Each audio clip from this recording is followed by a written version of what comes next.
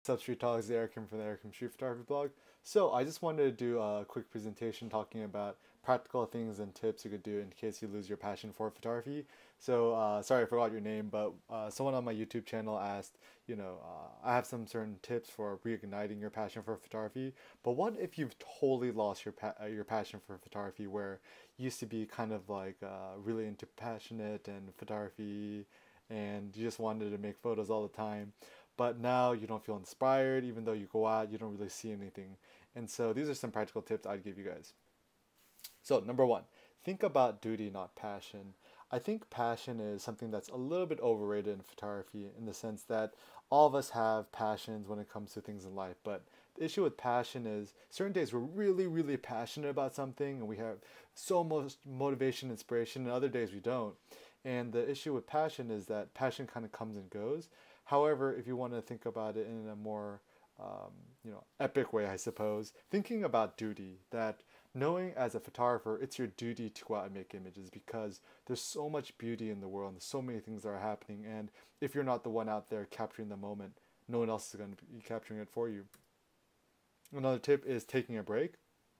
Know that in photography sometimes you're so caught up in having to always take photos every single day. I'm not actually a huge fan of these 365 day projects where you take a photo every single day. The reason is you start to take photos for photo's sake rather than taking photos that really have meaning. And uh, I know a lot of photographers that, you know, just taking a break for your photography is a good way to ignite your passion because let's say you always take your camera with you everywhere you go and you don't really see anything interesting. But by taking a break, put away your camera in the drawer, then just kind of live your everyday life. And you'll probably find situations where you feel frustrated that if you had a camera, you could go out and make a, a good photo of a scene. But by not having your camera, it helps you appreciate what you don't have. Uh, another tip is perhaps you take a break and you pursue other types of photography or other types of art forms. It could be painting, drawing, theater, dance, who knows, maybe even rap music or breakdancing.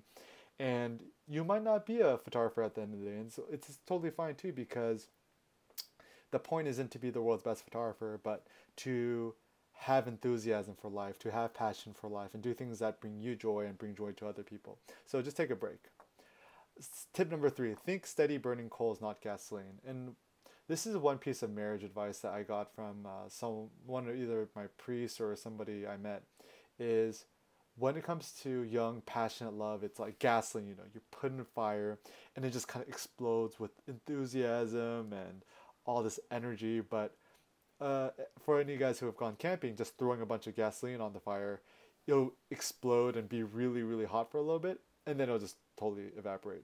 And so the same thing is, uh, or so the other analogy is think about steady burning coals where it might not be 100%, you know, super hot when you're doing it, but by the time you actually think about your photography or your love for a long term, a steady burning coal will last and bring you warmth for a long time. So if you ever go camping, you essentially want steady burning coals.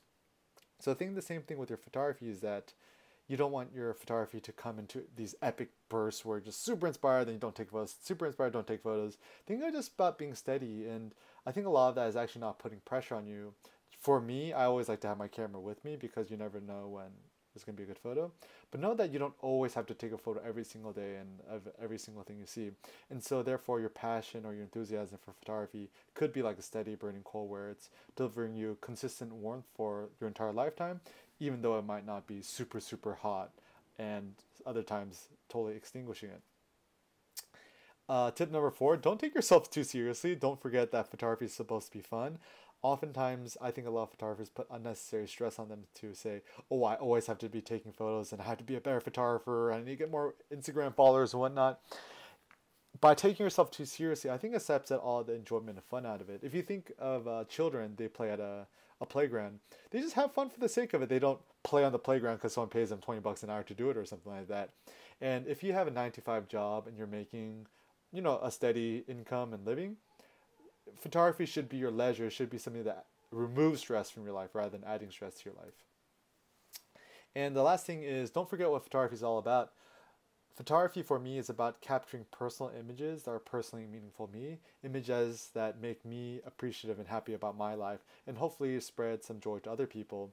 And so know that you don't have to just do this through photography. A lot of people think of uh, study philosophy. A lot of people write, journal, uh, participate in other art forms. And I think it's all about creativity and self expression. And so, once again, if you've found yourself losing all your passion for photography and you don't want to take photos anymore, maybe it's a time for you to pivot. Is time for you to pick up a video camera, or time for you to do audio, uh, to do once again, like the example of freestyle rapping. It's art is art and art is universal and photography is just another way to express yourself. So once again, if you've totally lost your passion for photography, I hope these are some strategies that help you reignite your passion for photography. And if not, that's totally cool too, because the point of life is to, once again, have joy, spread joy, love and be loved, and all that good jazz. All right, until next time, guys, thank you for watching. Peace out, stay inspired, and uh, hit the streets.